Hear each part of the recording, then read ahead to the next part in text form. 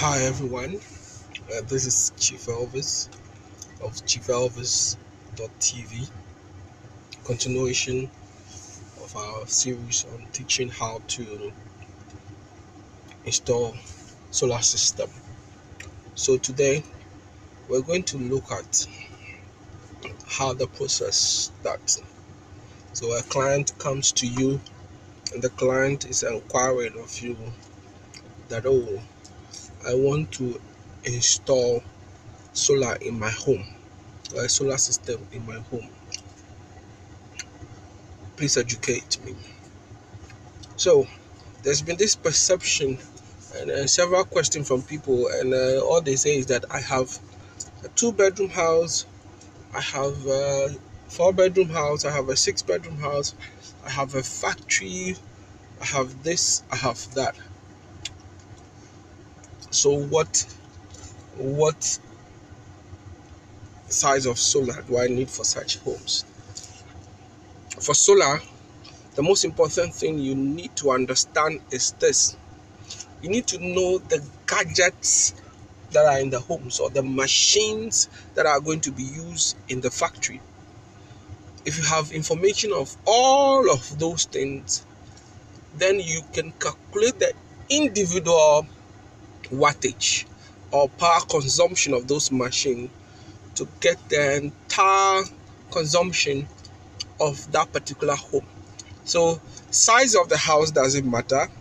The equipment or gadgets or tools in the house and machines in the factory matters. So whenever somebody comes to you, you need to know.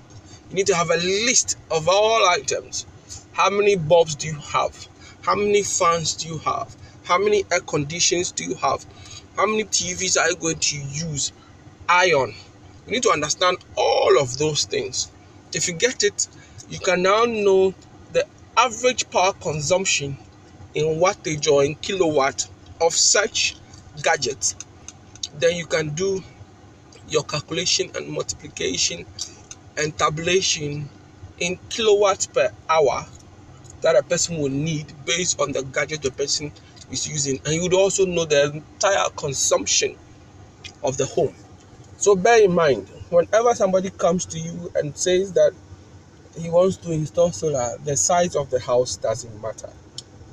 Rather the gadgets that are going to be used are very very important. So take in mind. Then after you have such information you need to go and do site survey. It is very important to know the type of roofing the person has, the, the angle at which the roofing was made. You need to know all of those things. These things would help you in preparing a good budget or a good quotation for the client. So, as I said, know every gadget the client has or perceive to have. Then you do your calculation for the person. It's very, very important. At certain places or certain institutions, we have tools to to use to read the consumption of the home. So if you have such a tool, you can use it to read the consumption of a home over a one week period. So to know the peak consumption days or hours against the less peak consumption. So it's very important that you have all these things in mind.